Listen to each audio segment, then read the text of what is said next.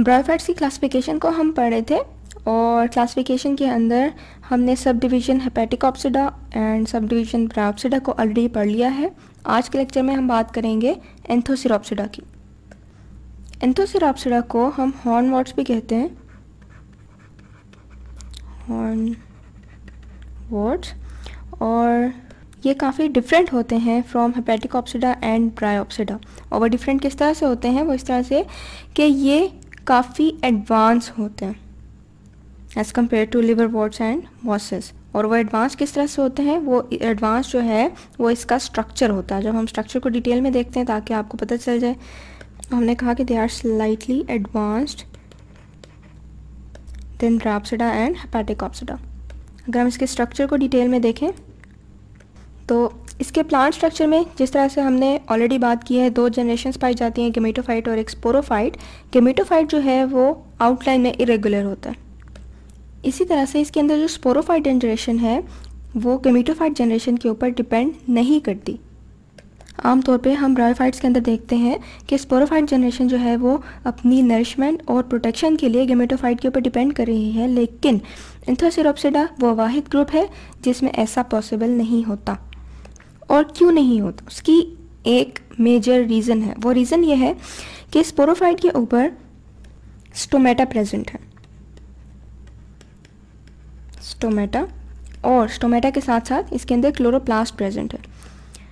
और हम जानते हैं कि जब क्लोरोप्लास्ट हो और स्टोमेटा हो तो क्या होता है? वहाँ फोटोसिंथेसिस पॉसिबल हो जाता है। तो इट मीन्स कि स्पोरोफाइट जो है it can prepare its own food अपने खुद फ़ूड प्रिपेयर कर सकती है ये जनरेशन तो ये इंडिपेंडेंटली भी सर्वाइव कर सकती है। यही वजह है कि अगर एंथोसरोप्सिडा में गेमीटोफाइट जनरेशन टोटली डिके कर जाए या डेड हो जाए, तब भी ये प्लांट सर्वाइव कर लेता है अपने स्पोरोफाइट की मदद से।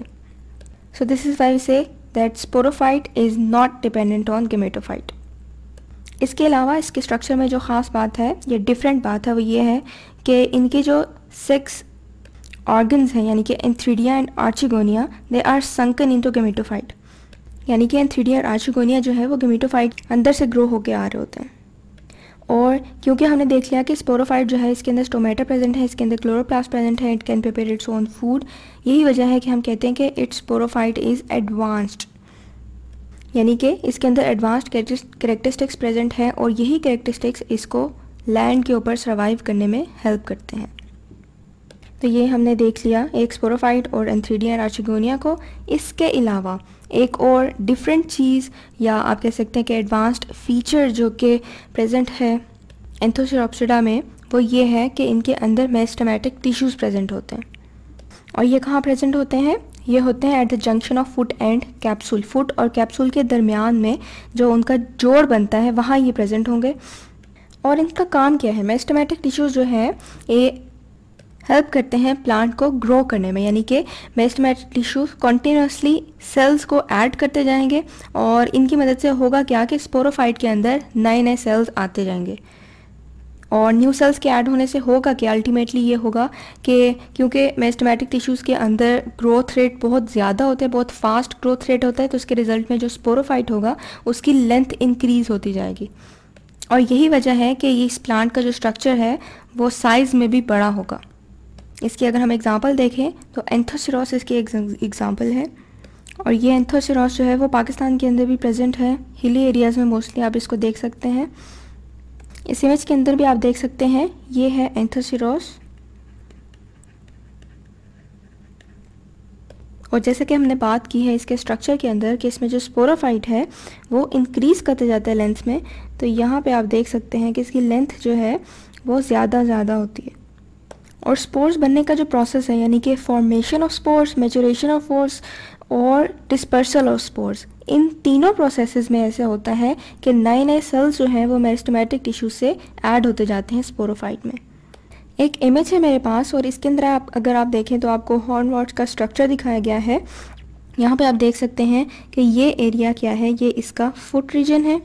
इसके अलावा आप देख सकते हैं कि मेरिस्टमेटिक टिश्यूज़ आपको दिखाए गए हैं, जिसके अंदर आप देख सकते हैं कि न्यू सेल्स प्रोड्यूस होते जा रहे हैं और वो प्रोड्यूस होकर कहाँ जा रहे हैं? वो स्पोरोफाइट का हिस्सा बनते जा रहे हैं। जबकि स्पोरोफाइट के अंदर आप देख सकते हैं कि स्पोर्स प्रोड्यूस हो रहे हैं। और सिर्फ़ हॉर्न हॉर्नवॉट्स के केस में ऐसा होता है कि sporophytic generation and gametophytic generation they both combine to make up the plant body normally जब हमने लिवर वॉट्स की बात की थी या मॉसेस की बात की थी तो हमने कहा था कि प्लांट बॉडी जो है वो गेमिटोफाइट जनरेशन बना रही है। लेकिन हम इस केस में जानते हैं कि इसमें स्पोरोफाइट जनरेशन जो है, वो इंडिपेंडेंटली सर्वाइव कर सकती है। यही वजह है कि ये दोनों जनरेशन्स मिल के प्लांट बॉडी बनाती हैं। तो ये था हमारा आज का लेक्चर एंथोसेरोप्सिडा पे। और इसके साथ ही हमारी जो क्लासिफिकेशन है ब्रायोफाइट्स की, वो कंप्लीट हो जाती है। आज के लेक्चर को समराइज़ कर लेते हैं। आज हमने एंटोसिटॉप्सिडा को पढ़ा और एंटोसिटॉप्सिडा को हम हॉर्नवॉट्स भी कहते हैं। हमने कहा कि ये स्लाइटली एडवांस्ड है as compare to liverworts and mosses और वो एडवांस किस तरह से हैं, वो इसका स्ट्रक्चर है। और स्ट्रक्चर के अंदर हमने देखा कि इसमें जो गमीटोफाइट है, वो इरेगुलर पाया जाता है। यानी कि उसकी आउटलाइन जो है वो इरेगुलर होगी। इसके साथ साथ हमने देखा कि जो स्पोरोफाइट है, वो इसमें इंडिपेंडेंटली भी सर्वाइव कर सकता है। वो इसलिए क्योंकि उसके अंदर स्टोमेटा और क्लोरोप्लास्ट प्रेजेंट है, वो अपनी फ़ूड खुद प्रिपेयर कर सकता है। इसके अलावा स्पोरोफाइट के ऊपर एक लेयर होती है क्यूटिकल की।